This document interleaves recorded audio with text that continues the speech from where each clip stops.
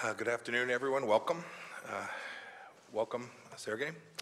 Uh, Before I recap the meeting that I had with Foreign Minister Lavrov and his team, I want to note uh, that recently the Trump administration has taken actions against multiple human rights violators. It's only appropriate I mention them on International Human Rights Day, uh, which we celebrate today. These actions extend the Trump administration's commitment to hold individuals accountable for gross human rights abuses all around the world. Uh, I'll speak more about that tomorrow. Now turning to our meeting. Uh, last May, at President Trump's request, I made a trip to Russia to meet with President Putin and Foreign Minister Lavrov. Uh, the reason was pretty straightforward. We should have a better relationship, the United States and Russia, than we've had in the last few years, and we've been working on that since that moment. Uh, our, our bilateral ties are, of course, complicated. We cooperate in some areas, in other places we compete.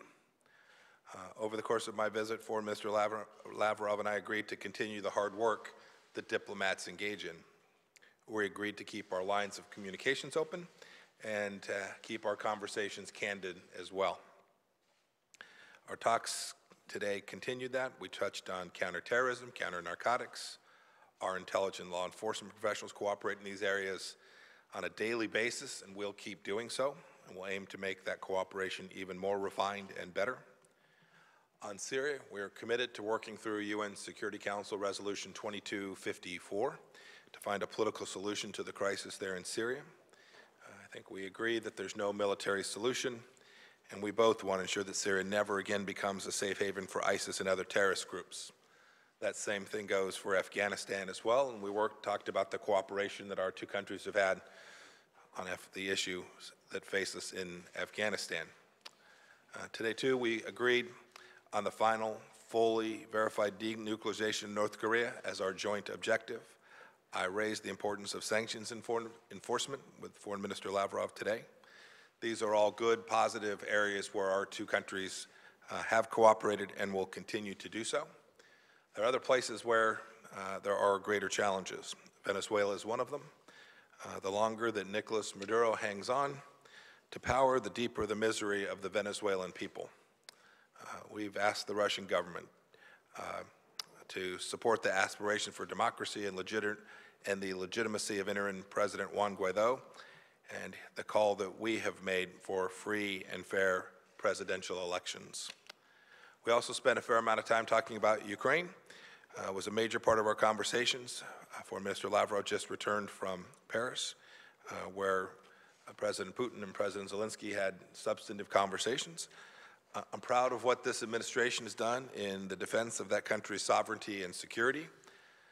I reiterated to Foreign Minister Lavrov that Crimea belongs to Ukraine and that the resolution of the conflict in eastern Ukraine begins with adherence to commitments made under the Minsk agreements. President Trump, too, uh, is eager to pursue arms control with Russia and with China. We talked about that uh, at great length today.